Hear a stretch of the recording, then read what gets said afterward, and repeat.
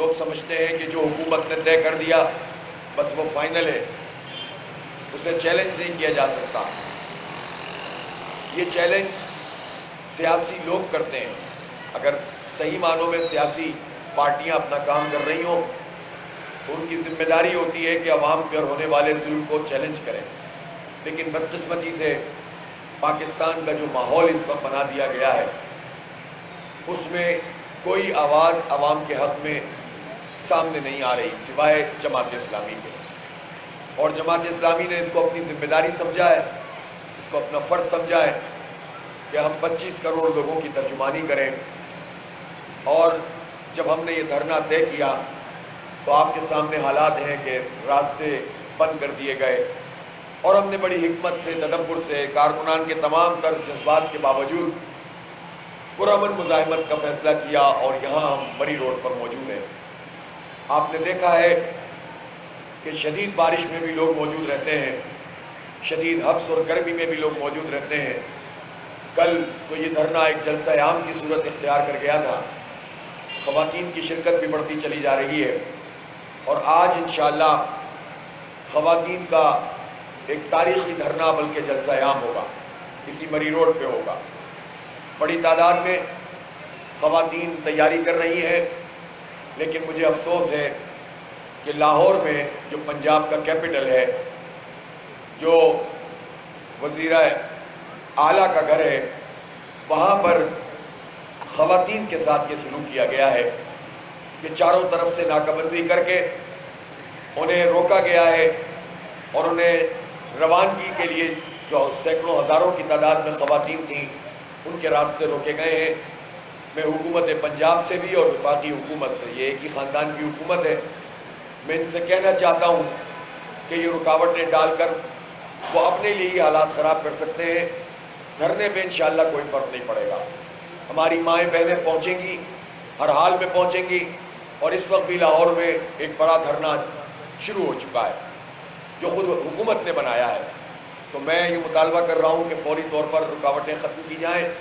اور اس دھرنے میں ہماری ماؤں بہنوں کو بیٹیوں کو شریک ہونے دیا جائے۔ اس لیے کہ گھر میں جب بجلی نہیں ہوتی، لوڈ شیڈنگ ہوتی ہے تو خاتون ہی بھگتتی ہے۔ اس لیے کہ جب اس کا شوہر یا اس کا بیٹا یا اس کا بھائی کما کر لاتا ہے اور وہ کمائی گھر کی روز مرہ کے اخراجات کو پورا کرنے کے لیے کافی نہیں ہوتی، لوگ دو دو مزدوریاں کرتے ہیں، لیکن گھر کے خرچے پورے نہیں ہوتے۔ اور پھر اس کے اوپر بجلی کا بل جب آ جاتا ہے، تو پتہ یہ چلتا ہے کہ وہ تو سیلری سے بھی زیادہ، تنخواہ سے بھی زیادہ بل آ گیا ہے۔ تو لوگ تنگ ہوتے ہیں اور ان حالات کو گھر کی عورت ہی سب سے زیادہ فیس کرتی ہے۔ سب سے زیادہ پریشان وہی ہوتی ہے۔ اسی کو سب کو سمو کر چلنا ہوتا ہے۔ اور جب وہ اپنے حق کے لیے نکلیں تو ایک طرف تو آپ دعوے کریں، ہم خواتین کی امپاورمنٹ کے کام کر رہے ہیں۔ ہم چاہتے ہیں کہ خواتین آگے بڑھیں۔ لیکن یہ سارے کام اخباروں کے اشتہار میں ہی ہوتے ہوں۔ عملاً جب خواتین اپنی امپاورمنٹ کے لیے نکلیں تو آپ ان کے راستے میں پولیس کھڑی کر دیں۔ یہ قطن مناسب نہیں ہے۔ میں حکومت کو وارن کرتا ہوں کہ اس طرح کی حرکتوں سے باز آ جائیں۔ یہ بزدلانہ حرکتیں ہیں۔ یہ کام انہیں نہیں کرنا چاہیے۔ ہم ظاہر ہے اس کے اوپر اپنی حکمت عملی بھی پھر وضع کریں گے۔ ہم ہر صورت میں پرامن رہنا چاہتے ہیں۔ ہم ہر صورت میں پرامن سیاسی مزاحمت کے کلچر کو فروغ دینا چاہتے ہیں۔ پاکستان افورڈ نہیں کر سکتا۔ تصادم کا راستہ۔ لیکن یہ کوئی طریقہ نہیں ہے۔ جب آپ اس طرح کے میں رکاوٹیں کھڑی کریں گی تو پھر رکاوٹیں توڑی بھی جائیں گی۔ پھر ہم سے شکایت نہ کریں گے۔ جہاں تک آئی پی پیز کا تعلق ہے۔ آئی پی پیز کے حوالے سے یہ بات بہت واضح ہے کہ جو حکومت بھی انیس سو چورانوے سے لے کر اب تک رہی ہے انہوں نے ان آئی پی پیز کو طاقتور بنایا ہے۔ انہوں نے معاہدے کیے، ناجائز معاہدے کیے، ان معاہدوں میں جھوٹ اور دھوکہ ہے۔ اگر ایک ایسی کمیٹی واقعتاً وجود میں آ جائے جو پچھلی کمیٹی کی رپورٹ کو بھی قوم کے سامنے لائے اور ایک ایک آئی پی پی کے بارے میں یہ طے ہو کہ جس وقت یہ معاہدہ کیا گیا تھا وہ کیا تھا اور حقیقت میں کیا ہوا ہے۔ تو آپ دیکھیں گے کہ ستر اسی فیصد آئی پی پیز تو صرف معاہدہ اور حقیقت میں جو فرق ہے اس کی وجہ سے بند ہو جائیں گی۔ حکومت اگر واقعی سٹینڈ لینا چاہے تو ممکن ہی نہیں ہے کہ وہ اس مسئلے کو ایڈریس نہ کر سکے۔ معاہدات اگر ہوئے بھی اول تو وہ غلط ہوئے، دھوکہ دہی کی گئی۔ وہ دھوکہ دہی سامنے آئے تو کوئی لیگل رائٹ کسی کا نہیں رہتا۔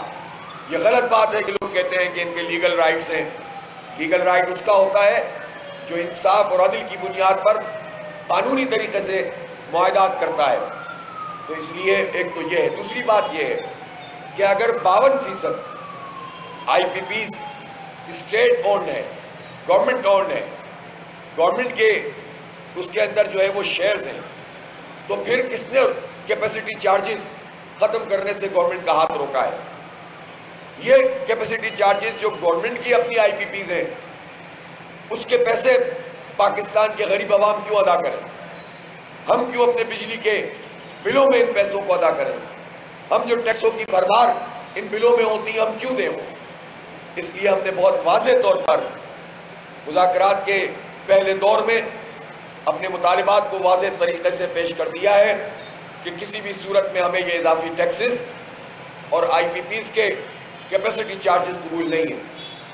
اور بجلی کی قیمت کا تعین بجلی کی لاگت کے حوالے سے کیا جائے، نہ کہ آپ کی مرضی کے جو معاہدے ہیں، ملک دشمن معاہدے ہیں، اس کے مطابق آپ ہم نے بوجھ ڈالیں یہ بوجھ پاکستان کی عوام نہیں اٹھائیں گے۔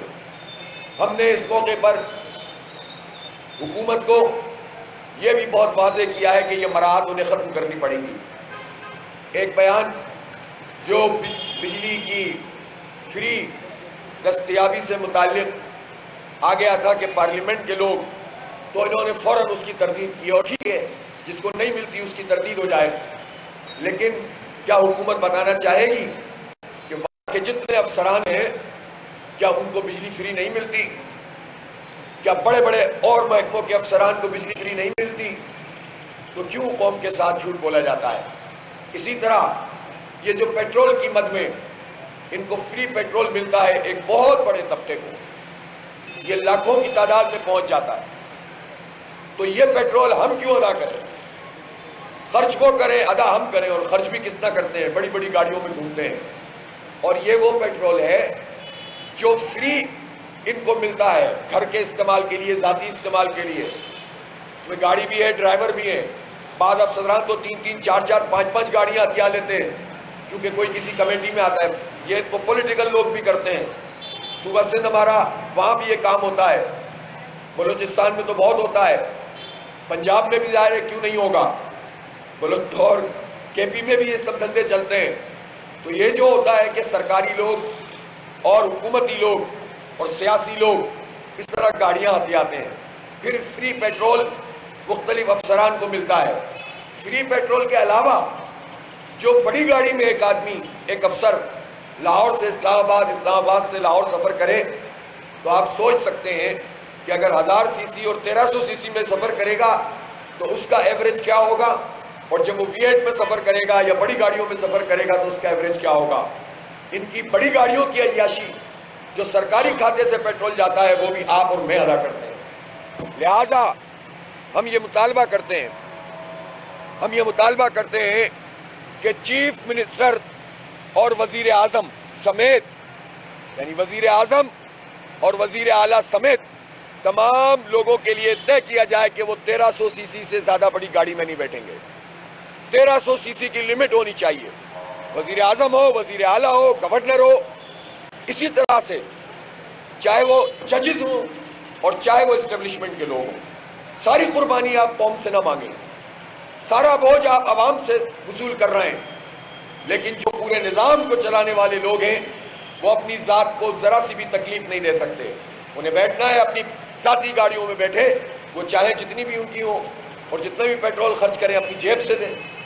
لیکن یہ کیا طریقہ ہے کہ سرکار کی گاڑیاں اتنی بڑی بڑی ہوں اور اس کا بوجھ بھی ہم اٹھائیں؟ تو یہ کیا وزیر اعظم کے لیے یہ قابل عمل نہیں ہے؟ یہ تو آج وہ ایک آرڈیننس جاری کر کے اس پر عمل درآمد کر سکتے ہیں۔ اور پاکستان میں ایسا نہیں ہے کہ کبھی نہیں ہوا۔ وزیر اعظم محمد خان جونیجو کے دور میں جونیجو صاحب نے تمام لوگوں کے لیے ہزار سی سی کی گاڑی کی لمٹ رکھی تھی۔ اور وہ فالو ہوتا تھا۔ سرکاری لوگ بھی، حکومتی لوگ بھی، سیاسی لوگ بھی سب ہزار سی سی کو جو ہے وہ فالو کرتے تھے۔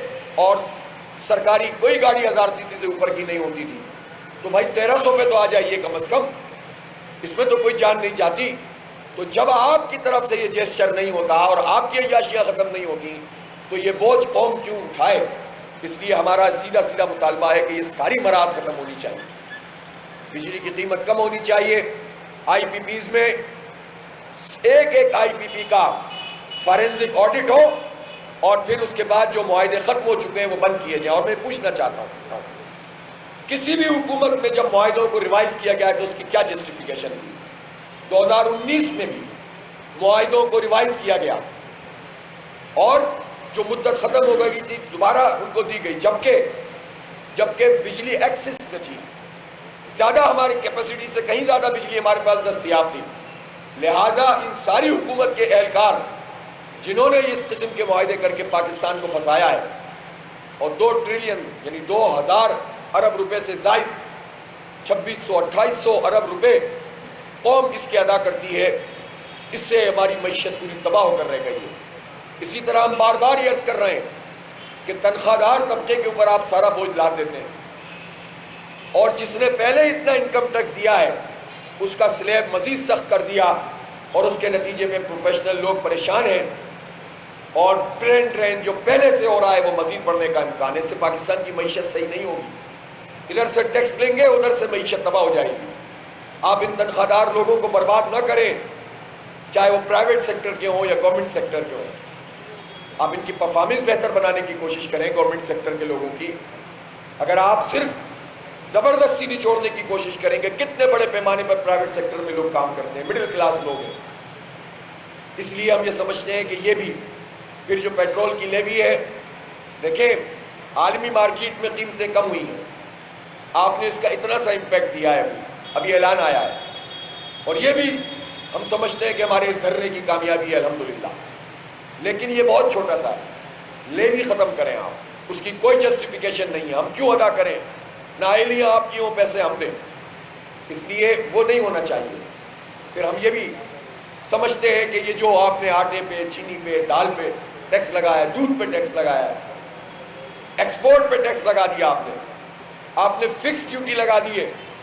بلوں کے اندر جو ہے وہ چھوٹی چھوٹی انڈسٹریاں اور بڑی انڈسٹریاں۔ تو انڈسٹری تباہ کر کے آپ کس کا کھیل کھیل رہے ہیں؟ آپ اس طرح کے اقدامات کر کے جب انڈسٹری کو تباہ کرتے ہیں، ہزاروں لاکھوں لوگ، ملینز میں لوگ بے روزگار ہو رہے ہیں۔